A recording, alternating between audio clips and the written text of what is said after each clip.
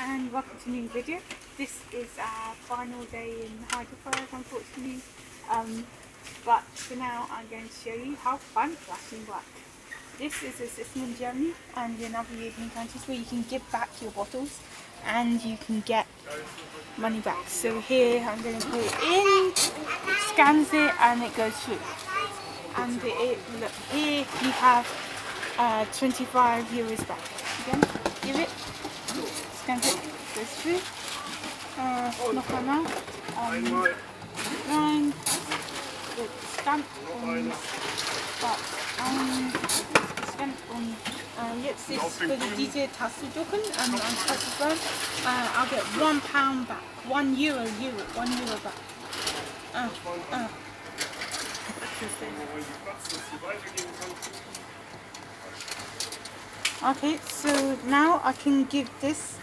back hopefully to the person at the counter in return I'll get one euro.